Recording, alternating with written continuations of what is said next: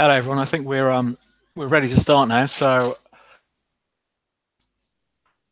welcome to this week's market outlook. Um, as usual, we're doing this in a few different ways. Uh, we're doing it on um, YouTube via our YouTube channel, and also um, via Facebook Live and um, via webinars. And for those of you watching via the webinar, that's going to stop at the end of this month. We're just going to do it um, via YouTube and Facebook Live, which is put a risk warning. There's a lot to talk about. So there's there's a lot going on this week in everything. Uh, stock markets, US markets, um, Nasdaq hit fresh all-time highs yesterday. S&P broke a big level. We'll look at that. Um, the pound has slipped to its worst level in about 10 months. Um, gold has broken down to lows from a year ago and also even the cryptocurrencies are moving. So we'll talk about all of that today as we're going through. If you're watching a recorded version of this, though, it was held live on uh, Wednesday, July the 18th at 12:30 in the afternoon. So um, in these, what we try and do, we try and sort of cover all the major markets in um, in under half an hour, and we do it every Wednesday at 12:30. If you're watching via YouTube, if you subscribe to our YouTube channel, um, you get automatically notified when we go live and also of the regular videos that we upload. We try and upload something every day. I think the last video that went up was one yesterday on um, Bitcoin. There's one going up later on today about stock markets. But I think that risk warning has been up for long enough. I'll just put the contact details up quickly. If you want to find out more about the company, open an account to try things out. If you go to capital.com, any questions after this session or whenever, drop me an email. My email address is david.jones at capital.com. And you can follow me on Twitter. And on Twitter, it's um, at Jones the Markets. But I think the risk warning has been up for uh, long enough. So let's just flip it over to the trading platform. I thought we'd start with a pound today.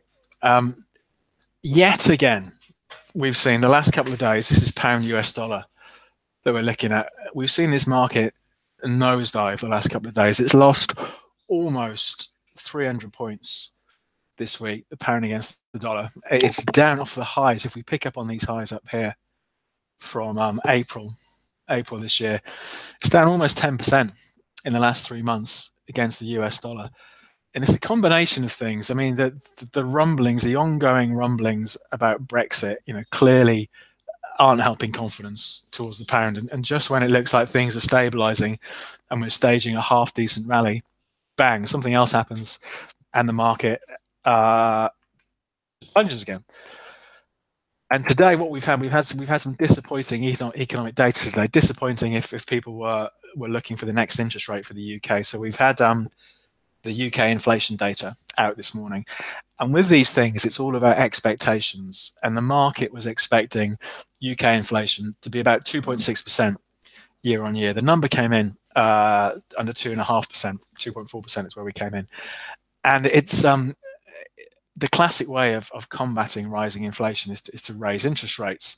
And putting interest rates up is normally good for the currency. Expectations were, and arguably still are, for an interest rate rise in August from the Bank of England. But they did change their mind back in May, and it was down to the inflation data. That was a big part of it, that it wasn't as strong as they thought it was going to be. So we've had disappointing, in terms of strength, inflation data today.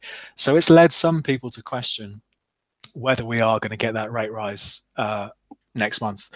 Either way, um, this, you know, the, the, the, the ongoing the government uncertainty, the resignations, all of that combined with worse than expected or lower than expected inflation data isn't really helping um, sentiment towards the pound. So it's interesting here. You know, we are now back to levels. I mean, let me just take this out. You know, it's been a bit of a, I mean, roller coaster is maybe over egging it, but we had through 2017, we had this rise from the pound from about 121. So a pound was worth $1.21 up as high as what 143 and a bit in April this year. We've given back a whole chunk of these gains. But where it gets interesting again now is where we are. You know, back in October, November last year, we saw this 130 level being quite pivotal for the pound. Admittedly, back then, sentiment was um, somewhat different to what it is what it is at the moment. But we did see, you know, buyers step in thinking the pound had uh, had slid too far and lifting the market higher. Are we going to see the same thing happen again? This this is the question at the moment. You have to say it's a market that's still, you know, pretty weak. So I wouldn't want to be standing in front of this runaway train at the moment. You know, whenever it looks like we're going to see stability for the pound, we just see the market slide off again. So it's going to be a really interesting few days. We've got actually tomorrow. There's it's a big week for UK data this week, but tomorrow we've got UK retail sales data, and that's always interesting. You know, given the state of the high street in the UK, how much it contributes to the UK economy, you know, will that paint a negative picture for the economy, which again could raise question marks about the Bank of England raising in August.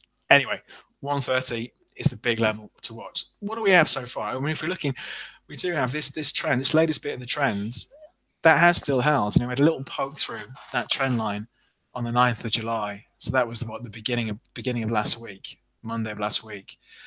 But it has held the market lower and we've pushed we've pushed lower again. If we were looking to construct some sort of a positive argument from the technicals here, you know, we could we could point to the RSI down here. This is a 14-day RSI, goes oversold down here. Market pushes lower, goes oversold again but not quite as oversold. Okay, this is known as bullish divergence. When the RSI is uh, rising but the market's falling, it can be a suggestion that the, the downward momentum is running out of steam. And it worked, and it worked for about a week and a half until the last the last the last couple of days. And arguably we're seeing the same sort of thing again. If we had a bit of strength over the next couple of days, we'd have divergence left again, assuming the RSI is going to stay there. You know, we've got higher lows on the RSI, even though we're seeing lower lows uh, in the market. So for me, it's all about 130. You know, let's see see what happens next. I mean, if that 130 level breaks, it was big support going back here, going back to October last year. It, you know, I think the next obvious target is a slide back to the the, the lows from the summer of last year around about 128. So the pound's definitely one to watch. Just, just have a quick look on the hourlies to see what it looks like. There you go. You can see you know, the extent of the decline. That was these are these are hourly candlesticks we're looking at. So what we're looking at here, that's um, I'm guessing between nine and ten. Yeah. So the data came out at 9:30 today, and there you can see uh, just how hard hit the market was. Okay, so that, that's pound US dollar. Okay, so it's 130 is the level to watch. Let's take a look at the euro. The euro has been pretty dull, euro dollar, pretty dull over the last, uh, what is it now? About a month and a half. Zoom it out.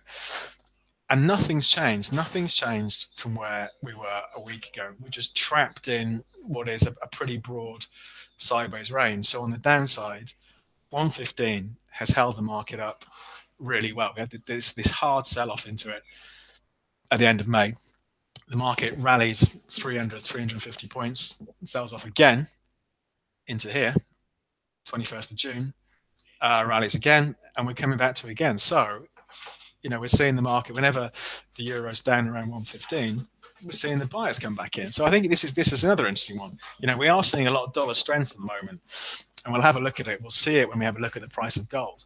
But um, 115 is a real floor uh, for the euro. So let's see what happens. I think you know again, if 115 breaks, it's a pretty major break, and there's a lot of fresh air, you know, down to the sort of 111, 112 area. Um, so it's a really pivotal level for the euro. So at the moment, for me, I would be expecting some sort of strength to start creeping in over the next couple of days, as we've seen over the last six weeks or so. Let's see. Let's see what happens from an RSI point of view.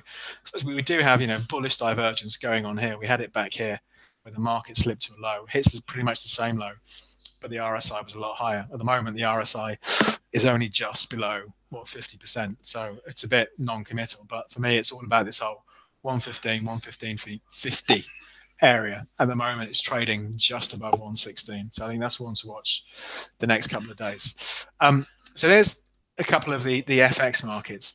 Let's take a look at um, stock markets because I think uh, they're getting interesting again. It's um, what should we start with? Let, us start with the S and P 500.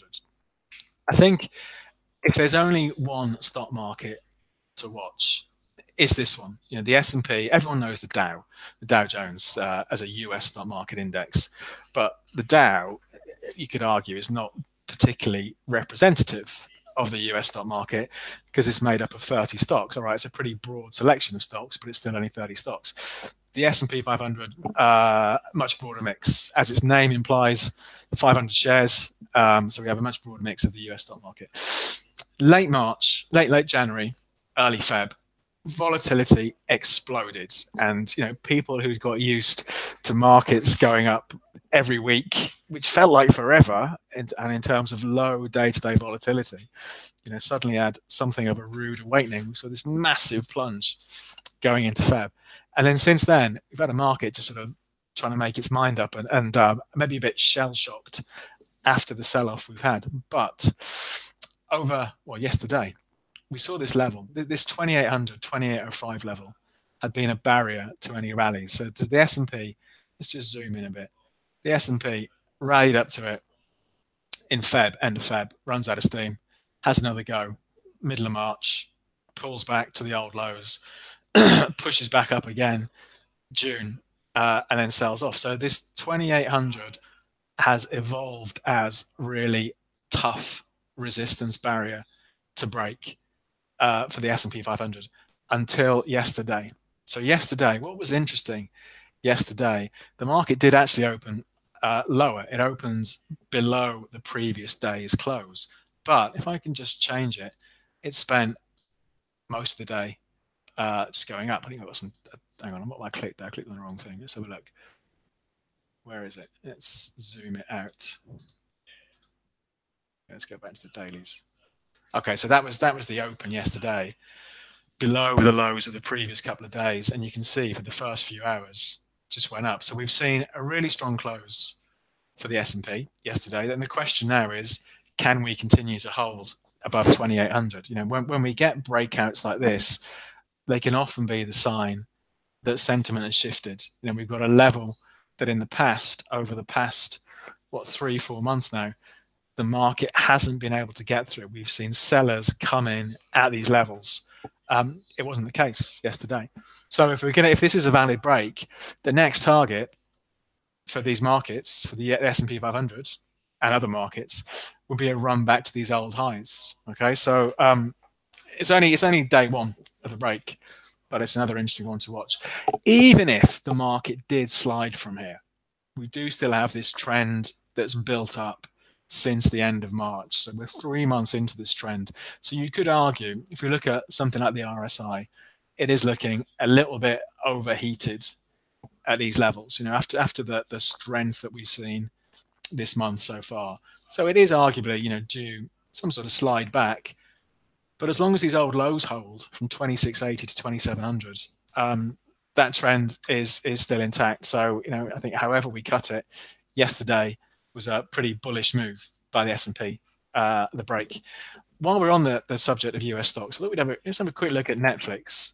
I mean, it's it's um earnings season time again in the US. So when the the US uh, companies, it started last week when they report the latest set of quarterly figures. So we've got later on today eBay uh, announcing the last quarter, and then tomorrow we've got Microsoft. Um, so you know, plenty of earnings data coming out from US companies.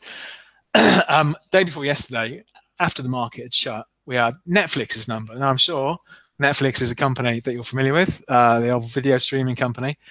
Incredible performance over, or just just the last the last few years or so. You know, if we go back, let's go back to I don't know, back to here. So July 2017, just over a year ago, shares were trading at 180. Yesterday they closed up at 380. So the share price has doubled over the last year. But uh, Netflix's earnings um, the disappointing number for the market, they missed their new subscribers target. Now, clearly, new subscribers is pretty important if you're uh, an internet subscription video streaming business. So they missed them by about a million. And you can see the impact, the impact on the shares. Uh, they, they gapped down yesterday. Look at that. There's the big gap. So they closed before the announcement. They closed at 400 and they opened yesterday at about 345 347 you know so that's a what 15% drop on the open. But but look at the comeback you know massive comeback. They haven't quite filled that gap but they haven't filled it by, by a margin.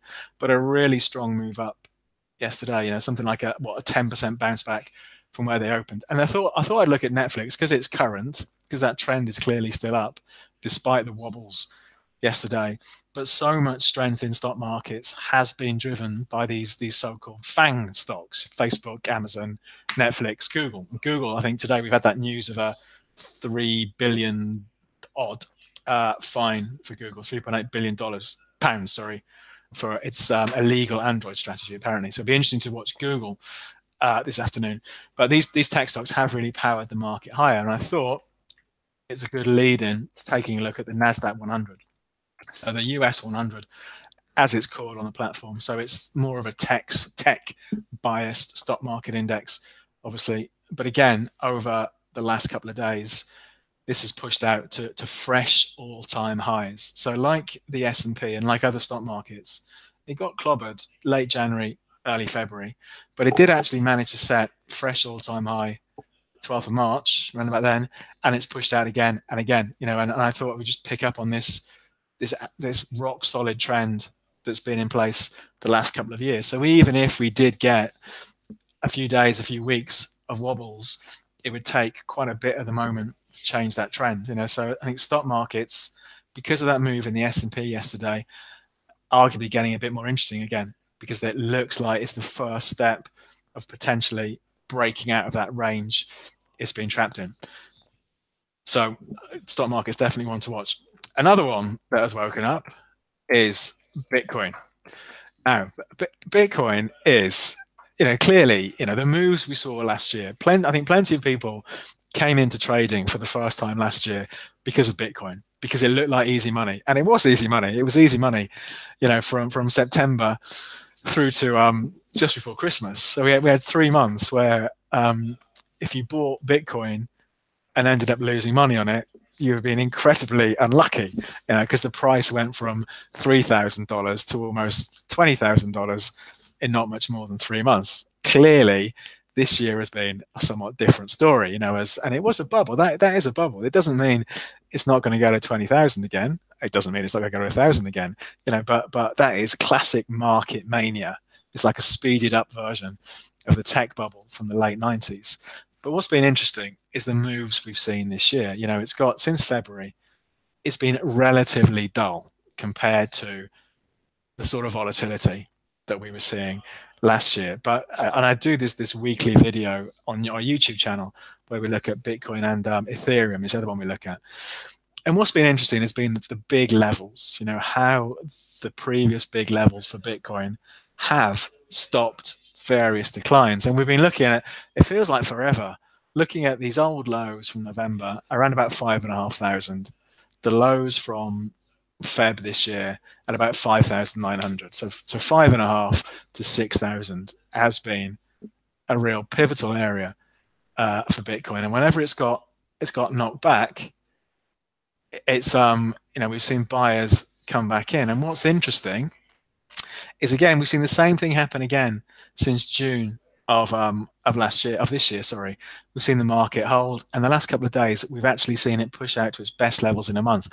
Helping this the news flow has really dropped off a cliff when it comes uh, to these cryptocurrencies. But earlier this week there was news that um, blackrock who, who many of you know massive US investment institution offer exchange traded funds ETFs on a whole range of markets um, have this effectively a working committee looking at the viability of investing into Bitcoin so, or, and other cryptocurrencies.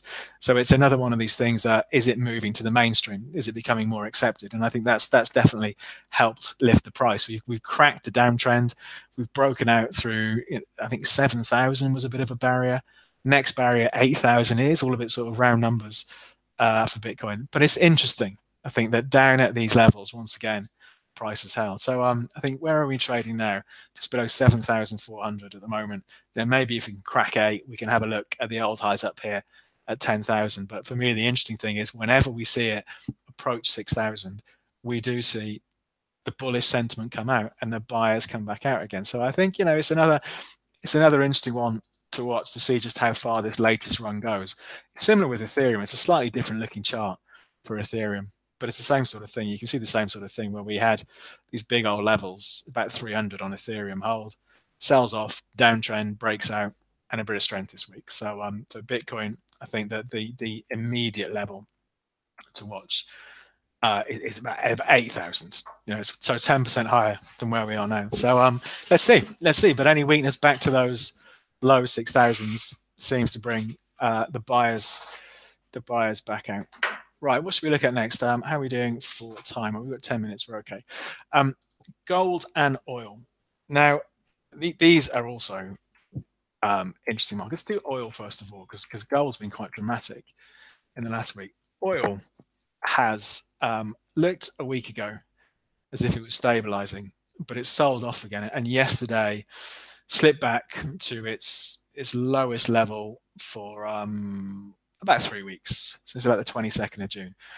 What's interesting with oil, there are arguments, you can construct arguments why oil should be well above $70 uh, a barrel, uh, increased sanctions on places like Iran, etc., or also why it should be well below $60 a barrel. I think one of the things that's put the pressure on the oil price in recent weeks is, is Libya starting to produce oil again.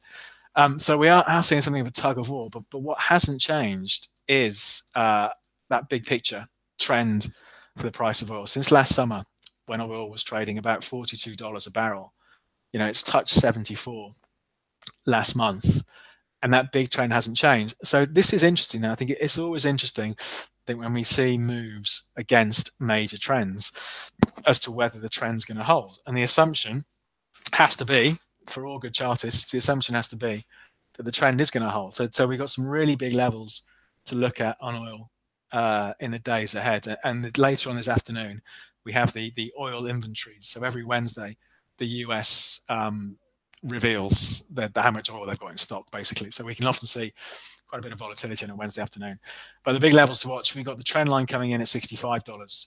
But I've, but for me, it's these old lows from back here. Let's just uh, pick up on those levels from from there, whenever it was. There we go. So back in um, 18th of June. So ahead of 63. So let's say 63 to 65 dollars on oil is is arguably the zone it needs to hold for this uptrend to remain intact. So we're still a bit weak at the moment. It hasn't dropped too much today. It's been a bit more stable today.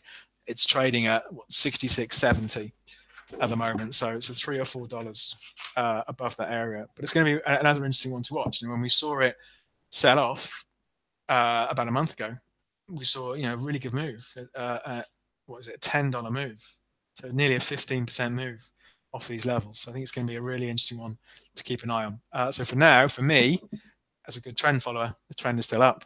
So I'll be expecting the strength to come back in. But this is another one to watch over the next few days to see what happens. We'll finish things up with gold. I have been quite surprised by, by the move in gold um, because just a week ago, maybe just over a week ago, we'd seen this this really strong reversal off these old lows, and it's the lows from December last year, around about 12.35 an ounce uh, for gold.